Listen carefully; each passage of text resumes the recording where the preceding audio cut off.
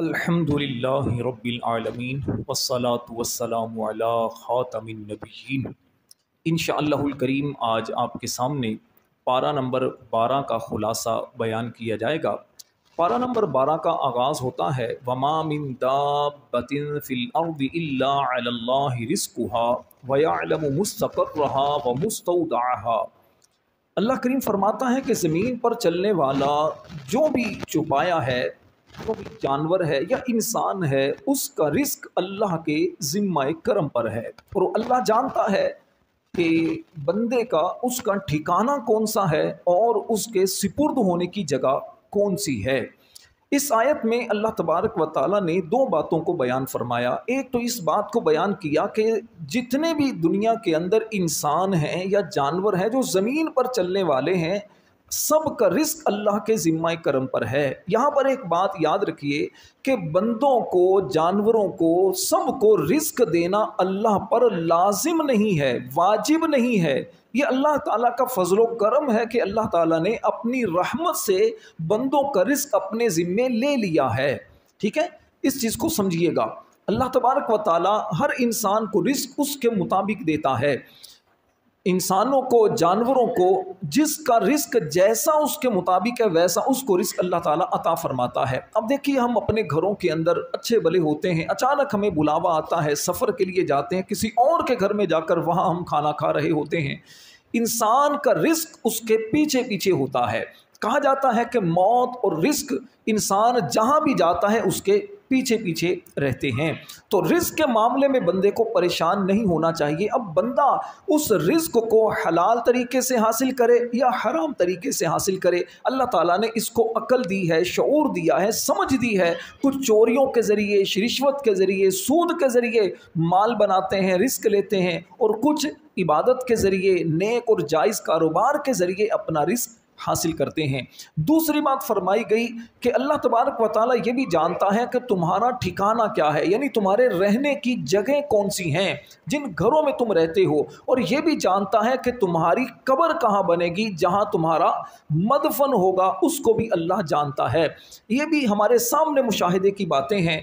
हम किसी और शहर में रहने वाले होते हैं, हमें हिजरत की हुक्म होता है, हमें इसबाब ऐसे बनते हैं कि एक जगह को छोड़कर दूसरी जगह जाकर घर बसा लेते हैं। कभी किसी दूसरे मुल्क में जाकर अपना घर बसा लेते हैं। इसी तरह बंदा कहाँ मरेगा, उसकी कब्र कहाँ बनेगी, हम में से कोई नहीं जानता, लेकिन रब जानता है। और आयत के आखिर में अल्लाह ताला ने फरमाया कि ये सारा कुछ किताब मुबीन में लिखा हुआ है। यानी लोहे महफूज में लिखा हुआ है। उलमा फरमाते लोहे महफूज में क्यों लिखा है? इस वजह से नहीं लिखा कि अल्लाह तबारक व ताली अपने याद के लिए अल्लाह ने लिखा है माज अल्लाह अल्लाह तो भूलने से पाक है। अल्लाह ने फरमाया, वमा कान रब्बु का नसिया। तेरा रब भूलने वाला नहीं है। अल्लाह भूलने से पाक है। फिर अल्लाह ने लोहे महफूज में क्यों लिखा? फरमाया, इसलिए ताकि अल्लाह के जो बरगुजीदा बंदे हैं, अल्लाह के जो नबी हैं, अल्लाह के जो वली हैं, बरगुजीदा बंदे जो हैं, वो देख सकें। तो अल्लाह ताला इस तरह उनको ये चीज़ें मुशाहिदे में करवा देता है। अल्लाह के फरिश्ते जो हैं बास, वो भी लोहे महफूज को देख लेते हैं। सूर्य हूद का चूँकि आगाज़ होता है ग्यारहवें पारे से और बारहवें पारे में भी सूर्य हूद ही का तसलसल जारी है। सूर्य हूद के और इसी तरह सूर्य यूसुफ का, सूर्य यूसुफ भी बारहवें पारे से शुरू होती है और तेरहवें पारे में जाकर सूर्य यूसुफ ख़त्म होती है। सूर्य हूद की आयत नंबर सैंतीस से हज़रत नू सलाम ने जो किश्ती बनाई थी, उसका ज़िक्र होता है। वैसे तो इस बारहवें पारे के अंदर कई अम्बिया किराम सलाम के वाक़ात हैं। आप यूँ कह सकते हैं कि सूर हूद के अंदर जो बारहवें पारे में ख़ास तौर पर है, इसमें अम्बिया किराम के काफ़ी सारे वाक़ात हैं। मसलन हज़रत नू सलाम का वाक़ है, इन्होंने जो किश्ती बनाई, उसका ज़िक्र है। हज़रत शुएब सलाम कौम मदियन की तरफ़ भेजे गए, इनका वाक़ है। हज़रत हूद सलाम जो कौम आद की तरफ़ भेजे गए, इनका वाक़ है। और हज़रत लूत सलाम, जो एक बस्ती बस्ती सदूम की तरफ़ नबी बनाकर भेजे गए, इनका वाक़ है। हज़रत इब्राहीम सलाम इनका वाक़ है। और कई अम्बिया किराम सलाम और काफ़ी सारे वाक़ इसमें हैं। तो मैं आपके सामने हज़रत नू सलाम ने जो किश्ती बनाई, उसका वाक़ अर्ज़ करता हूँ। ये सूर हूद की आयत नंबर सैंतीस से शुरू होकर अड़तालीस में जाकर यह वाक़ ख़त्म होता है। वाक़ कुछ यूँ हुआ कि हज़रत नू सलाम ने अपनी कौम को बहुत तबलीग की, साढ़े नौ सौ साल तक लोगों को दावत दी कि अल्लाह पर ईमान लाओ, अल्लाह की इबादत करो। लेकिन आपकी कौम में से सिर्फ़ अस्सी या बयासी अफराद ने कलिमा पढ़ा और मुसलमान हुए, बाकी कौम मुसलमान नहीं हुई। बिल आखिर अल्लाह ताला ने जब आपको खबर दे दी कि अब आपकी कौम में से कोई बंदा भी मुसलमान नहीं होगा तो फिर आपने अल्लाह तबारक वाली के हुक्म से आपने किश्ती बनाई।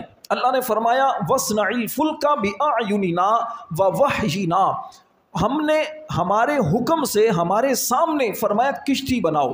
हज़रत नू सलाम ने 20 साल तक, यानी आपने एक दरख्त उगाए साज की लकड़ी के। दरख्त उगाए 20 साल तक ये दरख्त रहे। 20 साल में जब ये अच्छे भले दरख्त बन गए तो फिर इसकी लकड़ी से आपने किश्ती बनाने का अमल शुरू किया। 20 साल में जो बच्चे बालिग जो बच्चे नाबालिग थे, वो भी बालिग हो गए, वो भी आप पर ईमान ना लेकर आए। जब आपने कश्ती बनाने का इरादा किया तो जंगल में चले गए। जंगल में जाकर आपने अल्लाह तबारक वाली ने आपको यह तरीका सिखाया था तो आप जंगल में किश्ती बनाने लगे। ये किश्ती जो आपने बनाई, ये 300 गज़ ये किश्ती लंबी थी और 50 गज़ ये चौड़ी थी और 30 गज़ ये किश्ती जो है, ये ऊंचाई में थी। और इस किश्ती में आपने तीन स्टेप रखे थे, तीन आपने मंजिलें रखी थी। सबसे नीचे वाली मंजिल में आपने दरिंदे हशरातुल अर्ज़, ज़मीन पर जो चलने वाले कीड़े मकोड़े वगैरह हैं, सांप, बिच्छू वगैरह, इनके लिए ये जगह रखी। और दूसरा जो पोर्शन था, आपने वहाँ पर रखा ये जो जानवर हैं, जैसे गाय, भैंस, बकरी वगैरह, इस तरह के जो जानवर ये आपने रखे। और ऊपर वाला जो पोर्शन था, सबसे ऊपर वाला, वहाँ पर इंसान रहे। हज़रत नू सलाम आपके जो बेटे थे और इसी तरह आपकी बीवियाँ और इस तरह जो आप पर ईमान लेकर आए मुसलमान, वो अफराद थे। तो उसके बाद जब कौम पर अजाब आने वाला था तो अल्लाह ताला ने आपको एक निशानी बताई कि तनूर से पानी जब उबलना शुरू होगा तो उस वक़्त कौम पर अजाब आएगा। तो जब तनूर से पानी उबलना शुरू हुआ, अब तनूर कैसा था? एक रिवायत तो यह है कि वो जिस तरह हम रोटियाँ बनाने वाला जो तनूर है, ऐसा तनूर था। और एक रिवायत ये है कि ज़मीन ही को तनूर कहा गया। तो बहरहाल पानी निकलना शुरू हो गया। हज़रत नू सलाम अपने साथियों को लेकर किश्ती में सवार हो गए। काफिर आपका मज़ाक उड़ा रहे थे कि इतनी बड़ी किश्ती बनाई है, चलेगी कहाँ पर? तो खैर नू सलाम जब किश्ती में सवार हो गए, पानी निकलना शुरू हो गया ज़मीन से। चालीस दिन तक आसमान से बारिश भी बरसती रही, ज़मीन से भी पानी निकलता रहा। इतना पानी ऊँचा हो गया कि पहाड़ों की चोटियाँ भी पानी से नीचे आ गईं। और किश्ती पर जो सवार थे तो किश्ती आपको लेकर चलती रही। नू सलाम का एक बेटा था, किनान। ये बज़ाहिर तो मुसलमान था, लेकिन अंदरून खाना ये काफिर था। ये पहाड़ की चोटी पर खड़ा था। नू सलाम ने कहा कि बेटा तुम भी अंदर आ जाओ, किश्ती में सवार हो जाओ। इसने कहा, नहीं, पहाड़ जो है, ये मुझे बचाएगा। आपने फरमाया, आज कोई भी नहीं बचा सकता। बिल आखिर एक बहुत बड़ी लहर आई, जिससे वो बच्चा जो आपका बेटा था, वो गिरा और फिर मर गया। हज़रत नू सलाम छः महीने तक किश्ती के अंदर सवार रहे। दस रजब को किश्ती चली और दस मुहर्रम तक ये किश्ती चलती रही। बिल आखिर जूदी पहाड़ पर यह किश्ती ठहर गई दस मुहर्रम को और उसके बाद एक नई दुनिया बनी। इसीलिए नू सलाम को आदम सानी भी कहा जाता है। आपके बेटों से फिर आगे मजीद नस्ल इंसानी चली। इसके बाद आयत नंबर 50 से अल्लाह के नबी हज़रत हूद सलाम, जो कौम आद की तरफ़ नबी बनाकर भेजे गए, इनका ज़िक्र खैर है। आयत नंबर उनहत्तर में अल्लाह के नबी हज़रत इब्राहीम सलाम का ज़िक्र खैर है। अल्लाह फरमाता है, वलकद जात रसुलना इब्राहीम अबिल बुशरा। और जब फरमाया कि हमारे भेजे हुए, यानी फरिश्ते इब्राहीम सलाम के पास खुशखबरी लेकर आए। वो खुशखबरी क्या थी? वो खुशखबरी ये लेकर आए कि इब्राहीम सलाम को आदत ये थी, जैसे मेहमान के बगैर खाना नहीं खाते थे। तो अब फरिश्ते मेहमान की सूरत में बनकर आपके पास आए। इब्राहीम सलाम ने इनके लिए बछड़ा ज़बा किया, भूना, इनको खाने के लिए पेश किया। अब फरिश्ते कोई भी नहीं खा रहे थे। तो इब्राहीम सलाम के दिल के अंदर डर पैदा हुआ कि ये खा क्यों नहीं रहे? तो इन्होंने कहा कि आप खाते क्यों नहीं? तो फरिश्तों ने कहा कि हम तो अल्लाह के भेजे हुए फरिश्ते हैं। हज़रत इब्राहीम सलाम को इन्होंने खुशखबरी दी कि आपको अल्लाह तबारक व ताली बेटा देगा। इसहाक, और इसहाक के बाद याकूब सलाम की भी खुशखबरी दी उस वक्त इब्राहीम सलाम की उम्र काफ़ी हो चुकी थी, सौ साल से भी ज़्यादा थी, और आपकी जो बीवी हज़रत सारा हज़रत सारा रदी अल्लाह तहा इनकी उम्र भी नब्बे से जायद उम्र हो चुकी थी। तो ये हंसने लगी कि इतनी उम्र में बेटा कहाँ से होगा? तो कहा, अल्लाह पर कुछ भी मुश्किल नहीं। दोबारा उसके बाद हज़रत इसहाक सलाम पैदा हुए। तो इसके बाद हज़रत इब्राहिम सलाम ने जब फरिश्तों से कहा, तुम क्यों आए हो? कहा कि, हम तो लूत सलाम की कौम पर असाब करने के लिए आए हैं।